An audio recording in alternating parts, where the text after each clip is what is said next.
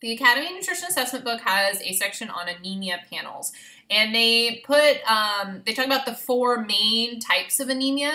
They have anemia chronic disease, iron deficiency anemia, megaloblastic or folate deficiency anemia, and then pernicious anemia or B12 deficiency anemia.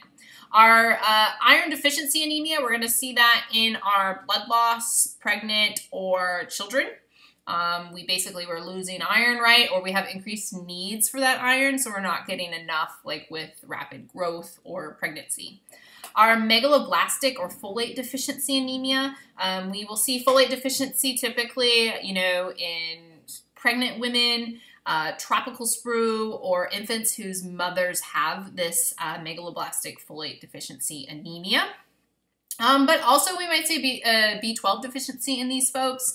Um, and that might be from not getting enough B12 in the diet, like vegans, or absorption issues, possibly Crohn's disease or dumping syndrome, um, versus pernicious anemia, which is B12 deficiency. This is specifically towards um, the intrinsic factor and uh, the gastric juices that are needed to have B12 absorbed. Um, so it might be the gastric juices aren't being made, or um, it's typically dealing with that intrinsic factor. And there's a test called the Schilling's test, and that will basically be looking at if they need that intrinsic factor or not to be able to absorb the B12.